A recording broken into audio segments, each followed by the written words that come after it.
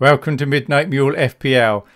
This is the series where I present to you a team, and if you follow these instructions, you'll hopefully finish top 5% globally, so you'll do very well in your mini league, possibly even win it. This series is the whole reason I started this channel.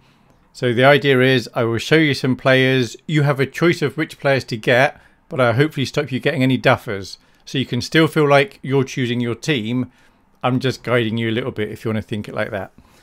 So in this video, what I'll do is I'll go through game week 16, how people who did the system got on.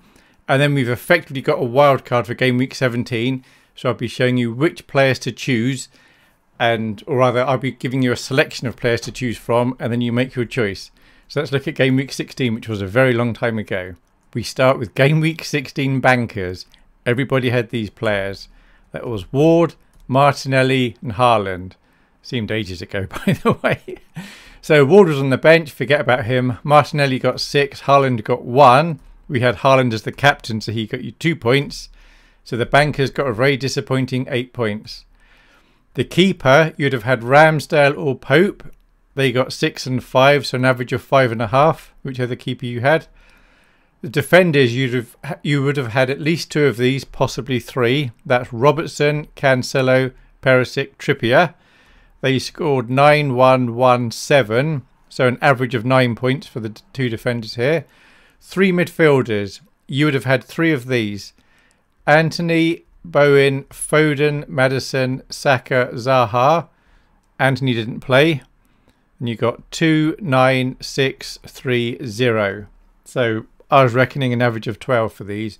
If you had Antony, and of course somebody would have come off your sub bench, but the subs weren't very good for game week 16.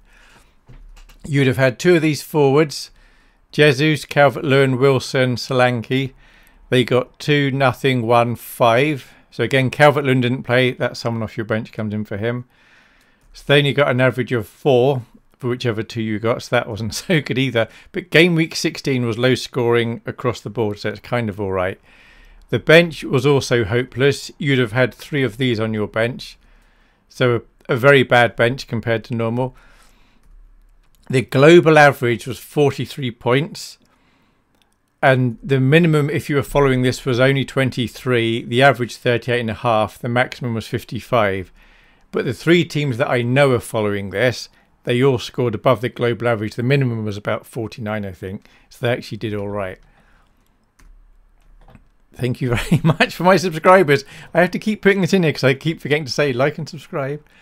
Uh, 259 subscribers. Very happy with that. Thank you if you're a subscriber.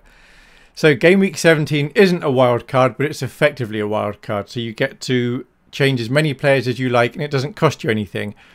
But a couple of things to mention here. If you have a player and they've gone up in value since you bought them and you sell them, save your team and then change your mind and bring that player back, then you will lose the value that you saved up, the extra money. So you want to do all your transfers, make sure you're happy with your team, and then save it. So I'm going to look through, we're going to step through the selection of players for you to choose from. And I'm aware this is going to possibly take you quite a while. You may want to watch it all the way through and then go back and then make your choices because if you choose players as you go along, then you're not going to maybe be choosing the right midfielders and forwards. What I would suggest, one, you can choose anyone you want on this list. I would try and avoid choosing a keeper and defenders from the same team just so you're not doubling up. Because if you had, for example, two Newcastle people at the back and they let in a goal in the first minute, that's quite annoying. But you can do whatever you want to do. This is just here to help you. So looking at the bankers, everyone has to buy these players. That's Ward, Bueno, Andreas and Haaland. Now for the goalkeeper, you want to select one of these. Ederson from Man City, Pope, Ramsdale, and Kepa Arrizabalaga. I don't know how to say a surname. I've put the word Kepa there because everyone refers to him as Kepa, but if you look on the site, he's under A-R-R-I-Z. He's flagged as injured, but if he's injured, that's okay because Ward will come on with Ederson, he's the most likely to be keeping clean sheets. The downside of getting a Man City keeper is you can then only get two other Man City players on the field. But if you decide, for example, not to get Cancelo, then it's okay to get Ederson. Uh, the same with Pope. If you get Pope and you end up getting Trippier, you've already used up two of your Newcastle slots. Same, of course, with Ramsdale. So go for any of these you want to. Absolutely fine. Just be careful who else you choose. In defence, you're going to choose one of these defenders. Cancelo, Trent Alexander-Arnold and Robertson. I'm aware Liverpool haven't been great with clean sheets, but Trent and Robertson can both get assists. Surely they'll turn it around. So choose one of these three. Choose three of these defenders. Trippier, James, Walker, Gabriel, Shaw, Dalot, White, Castagna. Now, if the two Man United ones, Shaw and Dalot, it's possible they're going to get let in goals the next couple of games as they're going to be missing a couple of key defenders because of the World Cup. But the teams they're playing aren't particularly strong, so they may keep a clean sheet. And Dalot and Shaw can both get up and get an assist, possibly even get a goal. All of these defenders are great. Choose any three, you'll be fine. Choose one of these midfielders Salah, De Bruyne, Son, Fernandes, Sterling. I'm aware that Son, Fernandes and Sterling haven't been great this year so far, but they could be. Fernandes, now that Ronaldo's gone, might be very good because his role may change slightly. Son could turn it around at any point, as could Sterling. Chelsea have got some very nice fixtures coming up, including double game week. Salah's got excellent stats regarding shots on goal, assists, etc. De Bruyne's got loads of assists. So any of those five are great. If I had to choose, I'm not going to tell you who I choose because it's got to be your team. You choose whoever you want. Choose one of these midfielders Foden, Maddison, Saka, Mount, Trossard. I'm aware some people don't like Trossard. Trossard is an incredibly good player. He's about the fourth or fifth highest scoring midfielder at the moment. There's no reason he can't keep that up.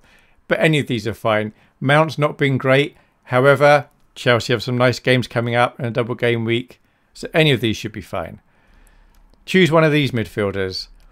Barnes, Martinelli, Rashford, Odegaard, Almiron. As you'll see, these midfielders are gradually getting cheaper. All five of these are great. Choose one of these midfielders. Billing, Bailey, Summerville. These will usually be on your bench, but they've all got a good chance of playing and they'll be picking up points sometimes. And you really want your three, four bench players to be players that are going to be getting points. Choose one of these forwards. Kane, Darwin, Toney. I'm aware that Toney's a lot cheaper than the other two, but don't be put off by his price. He's been very good. He could still be very good going forward. But if you can afford Darwin or Kane without crippling your team elsewhere, that's great. Do that. Choose one of these Mitrovic, Martial, Solanke. So your bench, what we do every week, I go through this and I'll tell you who you need to put on your bench. And if we get the bench right, the other 11 players sort themselves out.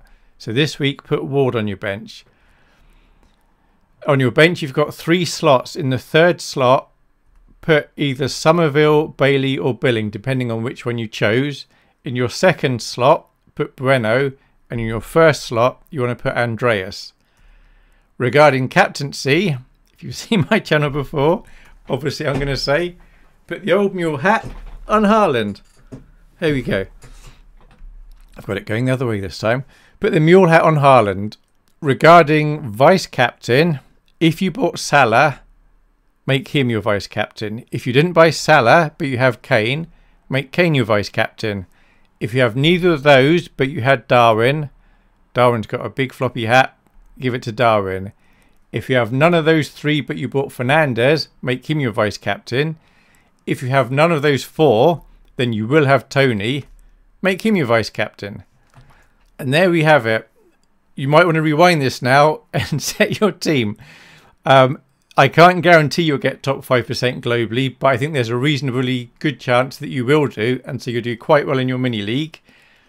I've played around with these um, players, the options here. I was going to show some sample teams, but then I thought I know the people that are doing this, they want to be able to feel like they're picking their own team, so I've decided not to. But you can get some very, very good teams out of this, and it'd be all right. There are no real duffers there as far as I'm concerned.